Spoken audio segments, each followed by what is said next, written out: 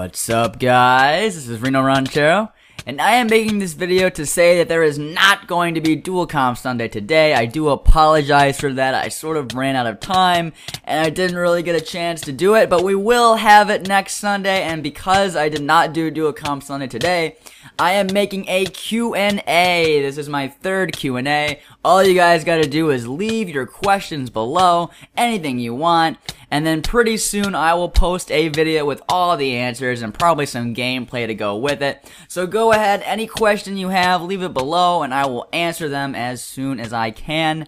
I hope you guys all have a great day and I will see you all in the next video, which will be soon. Goodbye.